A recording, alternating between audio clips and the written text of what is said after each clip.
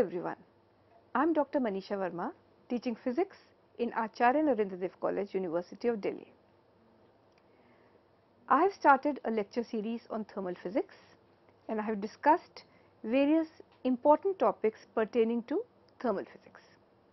I have discussed heat engines, I have discussed real gases in detail. After that, I took up the kinetic theory of gases wherein I derived the Maxwell's law of velocities. After the kinetic theory, I took up thermodynamic potentials wherein phase changes were discussed particularly a lot of emphasis was given on Clausius-Clapeyron equation because of its importance. A number of problems have also been solved as you can see from my earlier lectures. Today I will be starting a new topic in thermal physics namely radiation. In these lectures I will discuss what is meant by radiation, what is black body radiation, what are its important features, what are its applications, how to understand black body radiation, what is the black body spectrum, how to understand the black body spectrum, what are the various laws through which we can understand the black body spectrum. We will also be doing the classical theory of radiation and the quantum theory of radiation. So, let me begin. To begin with radiation, first of all I must make clear a few definitions, few concepts and the symbols that are used to represent those concepts. So, let me begin now. The first important parameter while to discuss in radiation is the energy density. It is represented by the symbol U. It is very important and it figures in basically all the laws which we will be deriving soon. So, what is the energy density? As is clear from the name, density, it means per unit volume has to be there. So, I can define that total energy density which is represented by symbol U is the total radiant energy per unit volume around a point for all the wavelengths taken together. It is represented by symbol U and its SI unit is joules per meter cube and the CGS units are erg per centimeter cube. The units are very important in solving all problems. As you all are aware, in a problem we have to solve using the same units either we take all the parameters in SI units or we take all the parameters in the CGS unit. So, this is the total energy density. Now, let me define what is the spectral energy density. There is a difference. The total energy density is represented by symbol U, whereas the spectral energy density is represented by the symbol U lambda. Lambda is occurring in the subscript. The spectral energy density is defined with respect to a particular wavelength lambda as a measure of the energy per unit volume per unit range of wavelength. It means that u lambda d lambda denotes the energy per unit volume in the wavelength range lambda to lambda plus d lambda. In the previous slide, I had shown that the total energy density is for all wavelengths, whereas the spectral energy density is for a wavelength range which is generally taken to be from lambda to lambda plus d lambda. So, I hope the distinction between the energy density and the spectral energy density is clear to all. both are density, both are energy, but the previous one is for all wavelengths whereas the spectral energy density pertains to a range of wavelengths. Therefore, we can say that a sum of spectral energy densities for all wavelengths from 0 to infinity per unit volume gives the total energy density that is I am relating the total energy density to the spectral energy density. How can we relate? We can relate it using the expression that u is equal to integral of u lambda d lambda. Both are density, both are energy, one is for all wavelengths, the other is for a wavelength range. And again let me reiterate that the total energy density is measured in units of joules per meter cube in the SI units. Now let me define another very important parameter to study in black body radiation which is the total emissive power or emissivity represented by symbol small e. The total emissive power of a body is the radiant energy emitted per unit time per unit area of the body for all wavelengths taken together. As you can see again we have for all the wavelengths taken together what is important is that this energy has to be calculated per unit time per unit surface area. So, in problems the everyone should take care that if we are to calculate the total emissive power, we have to take it per unit time per unit surface area. It is denoted by small e and for a perfect black body instead of small e we represent it by capital E to make a distinction between normal bodies and a black body, a perfect black body. Next let me de define what is the spectral emissive power. It is represented by the symbol E lambda. Lambda is occurring in the subscript. Corresponding to a wavelength lambda, it is a measure of energy radiated per second per unit area per unit wavelength. Therefore, E lambda d lambda denotes the energy emitted by unit area in 1 second in the wavelength range lambda to lambda plus d lambda. So, again there is a distinction between the normal total emissive power and the spectral emissive power. The total emissive power is valid or is calculated for all the wavelengths whereas the spectral emissive power is calculated only for a particular wavelength range taken as lambda to lambda plus d lambda. As before, we can calculate the total emissive power from the spectral emissive power also. That is a sum of spectral emissive powers for all wavelengths from 0 to infinity gives the total emissivity. That is small e is equal to integral of E lambda d lambda.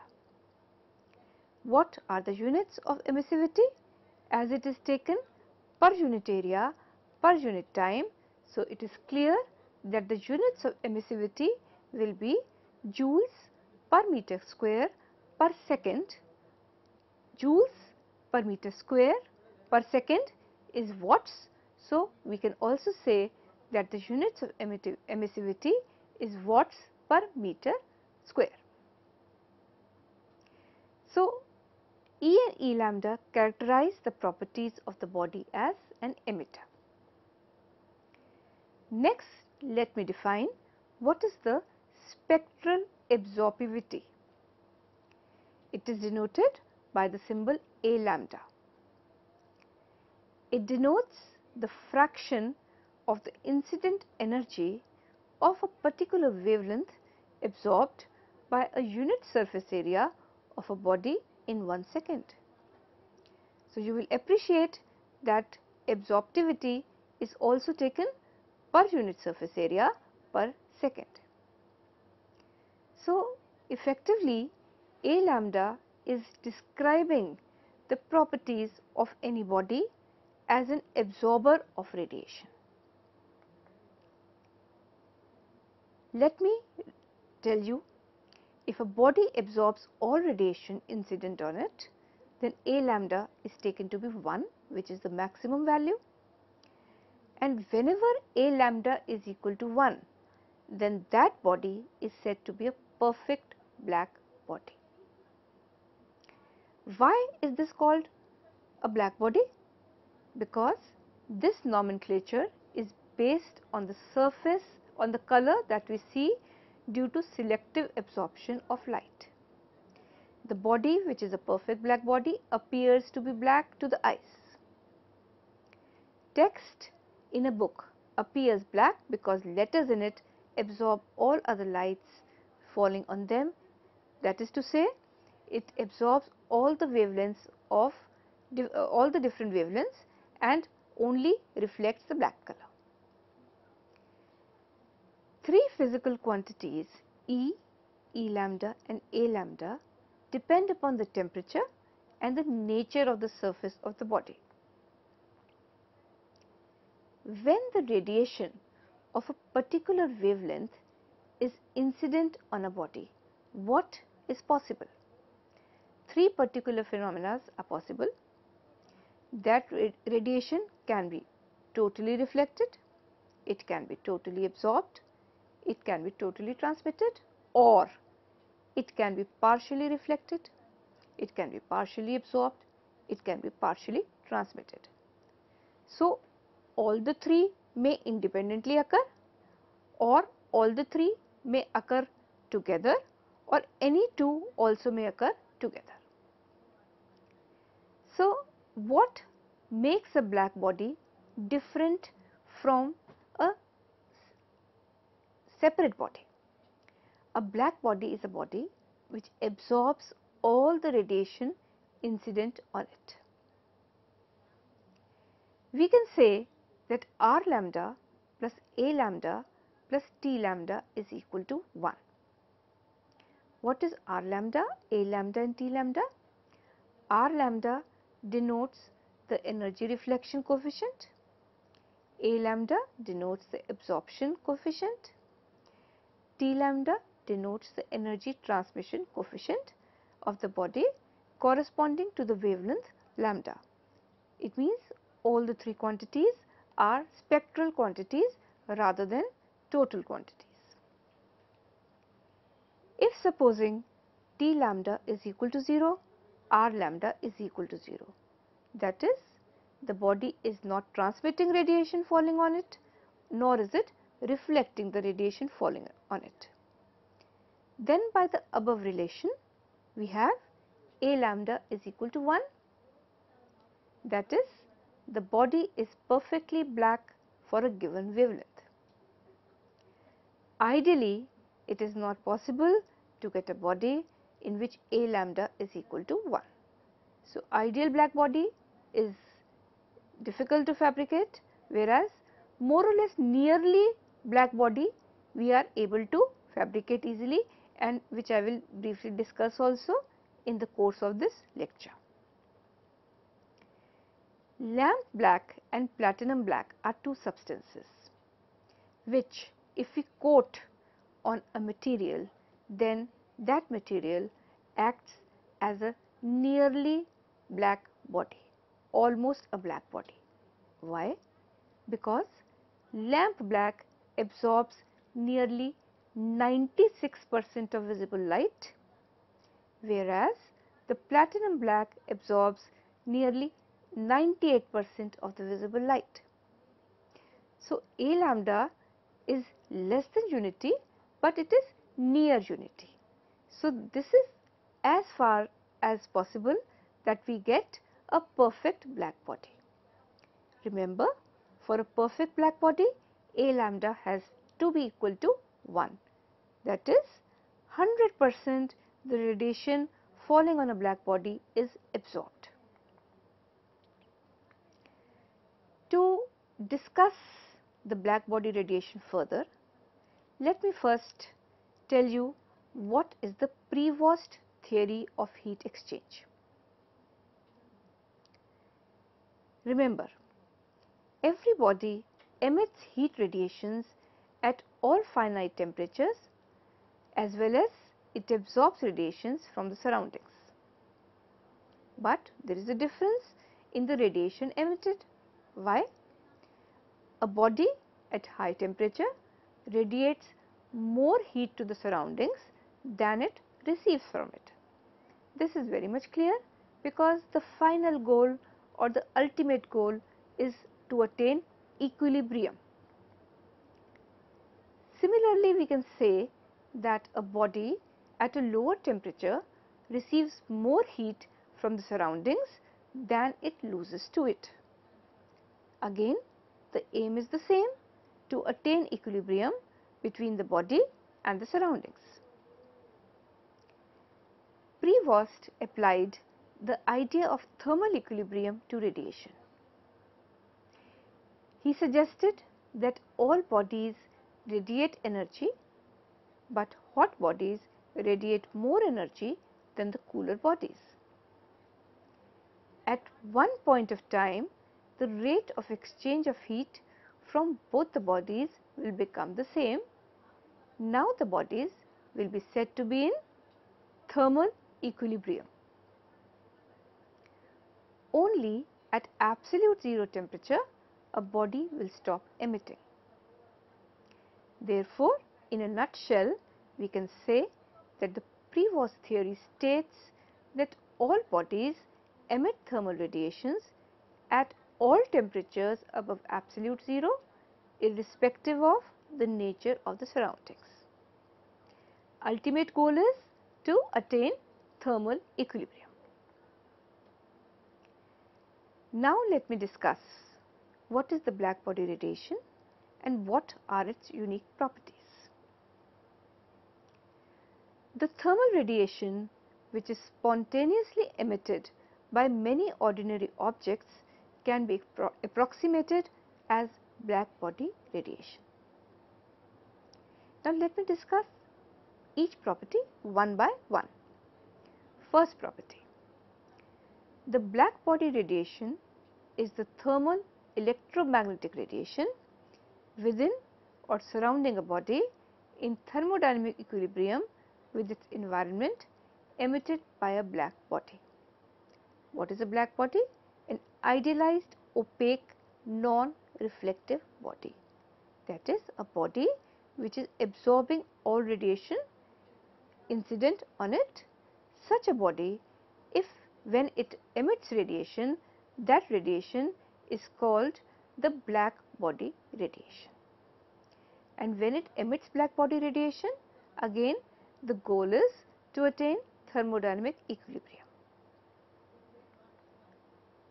Second property, a black body radiation has a specific spectrum of wavelengths inversely related to intensity that depends only on the body's temperature which is uniform and constant. What does this mean? This means that when a black body is maintained at a constant temperature, then the radiation emitted by it is going to be black body radiation which is dependent or which will be reflected in a specific spectrum of wavelengths and this radiation spectrum is dependent only on the temperature at which the black body is maintained. It does not depend upon the shape of the black body, it depends only on the temperature of the black body. Third property, the spectrum or the black body spectrum is seen peak at a characteristic frequency which shifts to higher frequencies with higher temperature. and it is also seen that at room temperature most of the emission is in the infrared region of the electromagnetic spectrum. We have three regions infrared, visible and ultraviolet. So, at the room temperature the radiation is in the infrared region of the electromagnetic spectrum. More details about the black body spectrum will be discussed in the subsequent lectures. In this particular discussion, I am just giving you the basics of the black body radiation. Details will follow in the subsequent lectures. As the temperature increases past about 500 degrees, the black bodies start to emit significant amount of visible light. That is, the radiation can be seen in the visible part of the spectrum now. Next property. The black body radiation has a characteristic continuous frequency spectrum which depends only on the body's temperature and the principle of strict equality of emission and absorption is always upheld in a condition of thermodynamic equilibrium. So, th this is basically the first point and the second point that the frequency, the spectrum is continuous, it is not discrete, it does not break, it is not discontinuous and it depends only on the body's temperature. To reiterate, I again say that the nature of radiations emitted by a perfect black body depends only on the temperature of the black body and not on the mass, size, density or the nature of the body. For an ideal black body, the reflectance and the transmittance must be 0. As the temperature increases, the peak of the spectrum shifts from the infrared region towards higher frequencies of visible light and if it increases further then it shifts to the ultraviolet part also. So, I hope you have understood the basics of black body radiation, what is the black body radiation, what is a black body, what are the various important parameters required to understand the black body behavior. I will be starting with more details in my next lecture. Thank you.